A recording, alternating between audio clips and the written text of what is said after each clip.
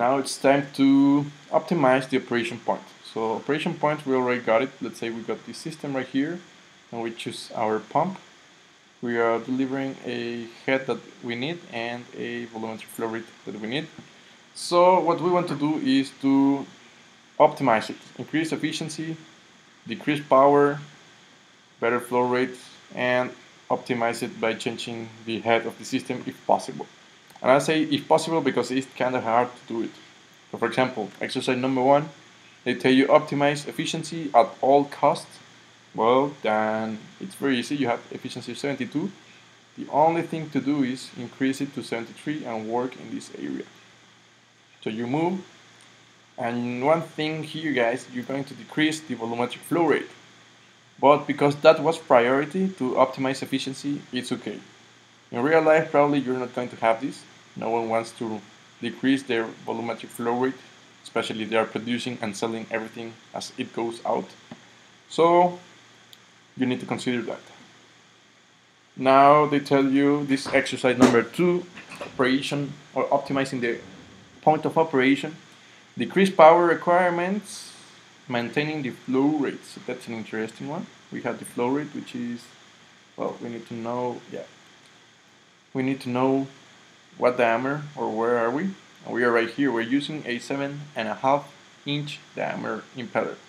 So this is the operation point.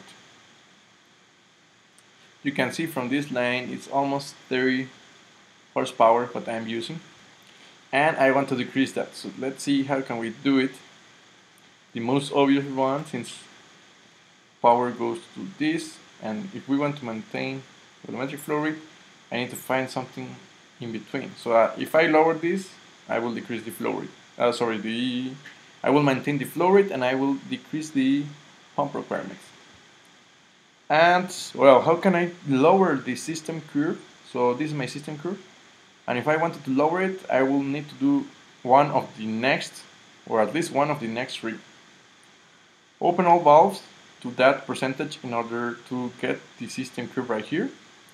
You will need to clean pipes in order to uh, decrease the roughness of pipe and maybe with that you decrease the the energy loss due to friction and if you decrease the energy loss due to friction, you will decrease the head of the system or change the pipe diameters. If you decrease the velocities due to the change of diameters, you're going to have less uh, energy loss due to friction and you're going to lower the head of the system.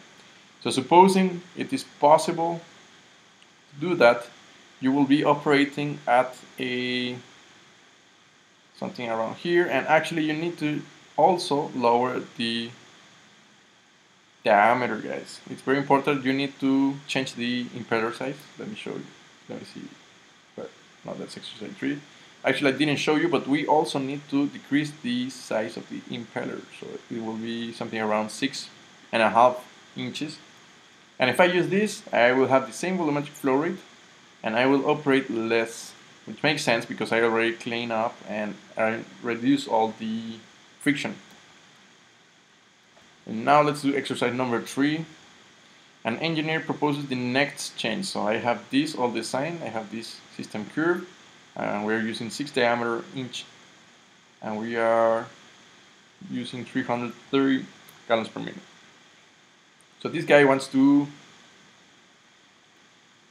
literally just increase from six to eight and a half inches and force the system to work here. So we will need to, of course, increase efficiency, uh, sorry, friction loss, which means change valves or close valves, and we need to change the pump's uh, impeller in order to maintain the same volumetric flow rate. Okay, and we will have this operation point. Actually, it's awesome because we are increasing the where, where are we? We're increasing the efficiency from 63 to 71 that's cool well the thing here guys is that this increase is due to the increase in friction so doesn't make that much sense to do that because you're going to increase friction yes maybe you are having more efficiency but you increase the head and the power right now. Let me see. No I didn't include the power.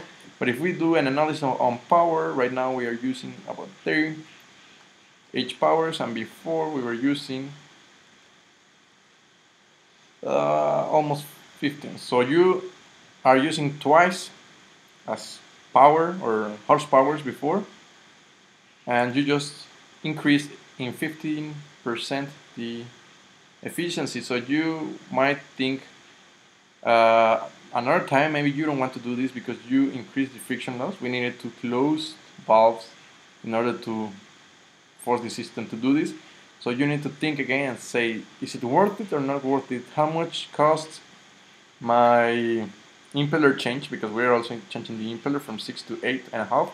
How much costs the operation of this right here? Low efficiency and low power versus high efficiency and high power. And after doing an exercise of is it worth it not worth it? You should choose the final decision. And maybe this engineer is wrong and you must go back and tell him no because we are increasing the pump power and we need to install a new impeller which probably if you have it fine. If you don't have it you will need to expand. So I will tell you that I don't recommend this for our process right now this was a free preview. You want to get full access go to my incompressible flow course. The link is in the description of the video.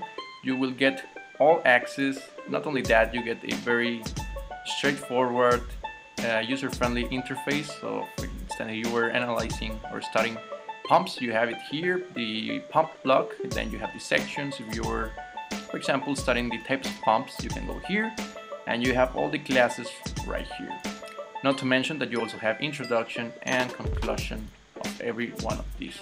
So for instance if you were studying positive displacement pumps the video is right here. You were studying positive displacement pumps in rotatory and reciprocal are also included here. Centrifugal pumps, which is a very important topic in this course, you have it right here.